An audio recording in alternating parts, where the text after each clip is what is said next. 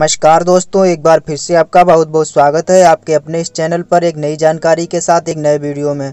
दोस्तों, आज बात करने वाले हैं सी एस सी एल को सर्विसेज़ के बारे में। जिसमें आप अपने आसपास के दिव्यांगजनों का रजिस्ट्रेशन करके उनकी मदद के साथ साथ अच्छी खासी इनकम भी कर सकते हैं। तो दोस्तों, सबसे पहले आप बात कर लेते हैं कि सी एस सी एल को सर्विस है क्या। साथियों सीएससी ने एलिम्को यानी artificial limbs manufacturing corporation of India से मिलकर एक पायलट प्रोजेक्ट की शुरुआत की है, जिसमें जो है दिव्यांगजनों को मतलब रजिस्ट्रेशन करके उनको उपकरण मुहैया कराए जाएँगे, जिसमें जो है उनका बिल्कुल निःशुल्क रजिस्ट्रेशन होगा।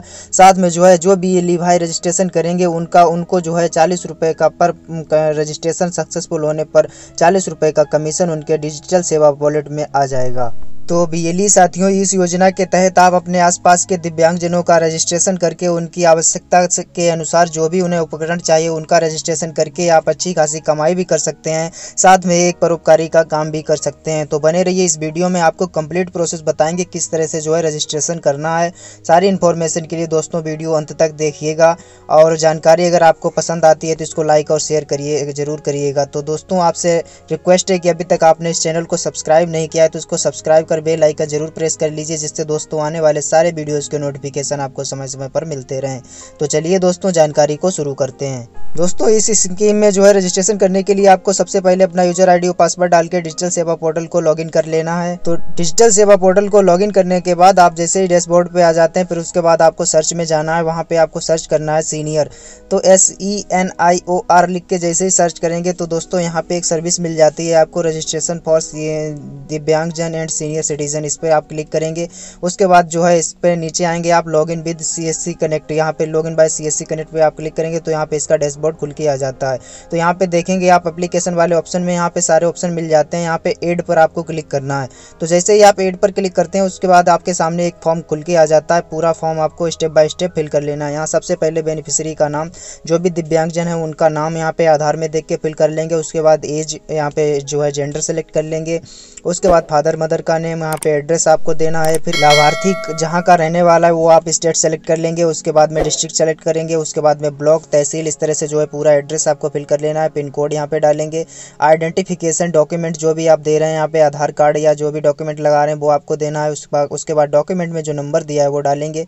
उसके बाद आपको एक मोबाइल नंबर देना है। ये मैंडेटरी है। उसके बाद में आपको एक ईमेल आईडी देनी है। ईमेल आईडी अगर है तो डाल सकते हैं, नहीं तो कोई मतलब मैंडेटरी नहीं है। उसके बाद यहाँ पे कास्ट सेलेक्ट करेंगे।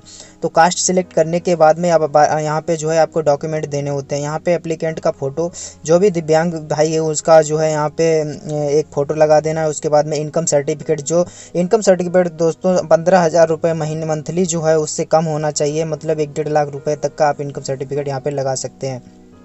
उसके बाद एनुअल इनकम यहाँ पे फिल करनी है और टाइप जो है किस तरह से जो है वो सारा यहाँ पे भर लेंगे।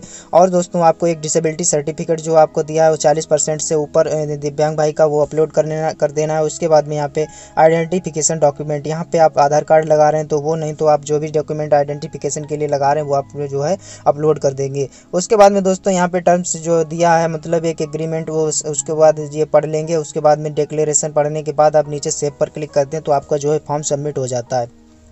तो यहाँ रजिस्ट्रेशन होने के बाद, उसके बाद ये अप्रूवल अथॉरिटी को फॉरवर्ड हो जाता है। यहाँ वहाँ से जब वेरीफाई हो जाएगा तो उसके बाद में आपका चालीस रुपये जो कमीशन है, वो आपके वॉलेट में जो है ट्रांसफ़र कर दिया जाता है।